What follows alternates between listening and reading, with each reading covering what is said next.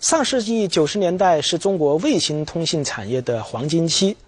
而从两千年开始，地面通信网络在邮电部的主导下，降价幅度达到了百分之七十以上。从收益比来看，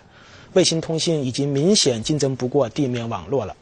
与此同时，另一项主要业务卫星广播，由于政策方面的种种限制，发展也很不理想。各部委、各企业专网纷纷关掉。许多卫星通信项目接连下马，在中国进入低潮期的时候，美国的通信卫星却一直处于高速发展的时期，如今已经达到了几千万的装机量、几千亿美元的产值。美国的通信卫星事业从研制到发射到应用，各个环节的核心技术都遥遥领先。九九五年，美国 GPS 正式投入使用。五年后，中国首次发射北斗导航试验卫星。从两千年到两千零三年，中国相继发射了三颗北斗导航试验卫星，并开通运行。与美国 GPS 和俄罗斯格罗纳斯不同，中国北斗系统采用双星定位的原理，除了定位，还能用短信的形式向终端下达命令。那么从北斗来讲，它。也是肩负着多重意义的一个系统。它首先是会为保障我们国家的，嗯，就是像导航方面的一个应用提供一些那个嗯基本的一个保障。那么它一定也是会参与国际竞争的。那么这样的话，它会和 GPS、格劳纳斯等等成为就是能够给全球提供导航服务的系统之一。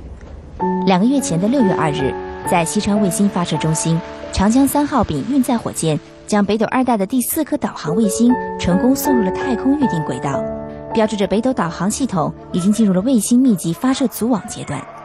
与北斗一代三颗试验卫星覆盖中国本土区域不同，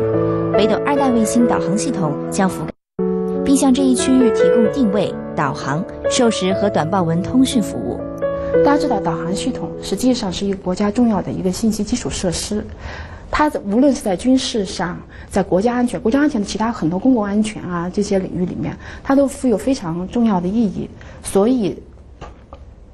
世界上才会有这样这么多的国家，像 GPS 啊、格劳纳斯，然后包括伽利略，欧洲的伽利略都要发展这样的一种导航系统。因为现在的战争呢，也叫做精确打击战争，精确化的武器。那么，使用精确化的武器，你没有全球定位是不行的。在全球，对于全球任何一个点儿进行多维的这个定位，这是从军事的意义上来讲的。那么从国民经济的意义上也是非常重要的。比如说我们的电网，电网大家都知道是长距离的广布的，那么很多调度，它实际上是依靠远距离调度的，并不是说有人去调度。那么它有一个，嗯，电网的运行中，它就有非常重要的一个就是时间的一个基准。那么现在我国电网是用 GPS 的。如果像这种情况下，就是说一旦发生战争或者什么特殊情况，GPS 信号一掐断，你连这种经济命脉全部都完蛋了。这种情况就是说是，呃，对于一般就是对大国来讲，那是不可以容忍的一种局面。所以北斗星，它从某种意义上，它还是对国家安全有非常重要意义的一个系统。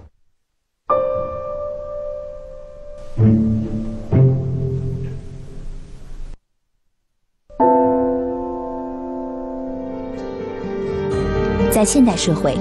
无论是打开一张报纸、买一张彩票、看一眼股市行情，还是刷一次信用卡，背后都有着广泛的卫星应用。而现在，这一切的背后，主要还是美国 GPS 导航系统。